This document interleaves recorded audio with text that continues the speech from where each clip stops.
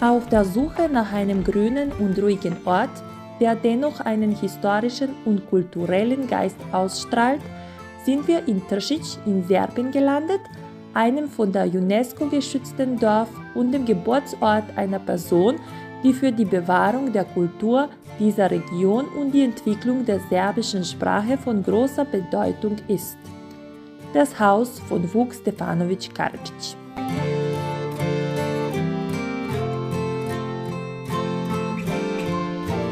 Eine große Fläche, geschmückt mit der einzigartigen Natur und historischen Erbe, ist geschützt, ruhig und immer noch nicht von Touristen überlaufen. Der Weg, der zum Haus führt, ist nach Schildern zu erkennen, die einige der Volksweisheiten zeigen, die Karadžić im Laufe seines Lebens gesammelt und niedergeschrieben hat.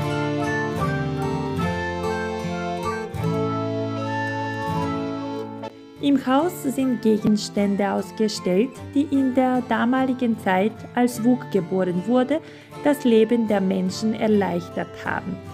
Vielleicht waren diese genauso ausgerichtet wie heute oder doch nicht. Gerade ein altes hölzernes Babybett steht neben dem großen Bett, das mit Decken bedeckt ist, als ob wir durch die Zeit gereist sind die Feuerstelle, ein niedriger Tisch und Stühle. Der zentrale Ort im Haus, wo die Familienmitglieder ihre Zeit oft gemeinsam verbracht haben.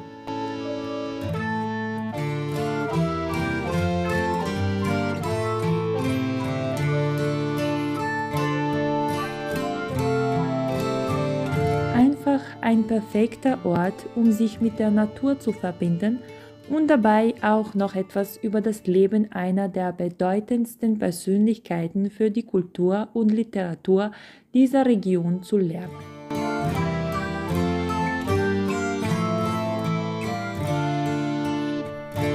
Willkommen in einem kleinen Dorf in der Nähe der Grenze zwischen Serbien und Bosnien und Herzegowina.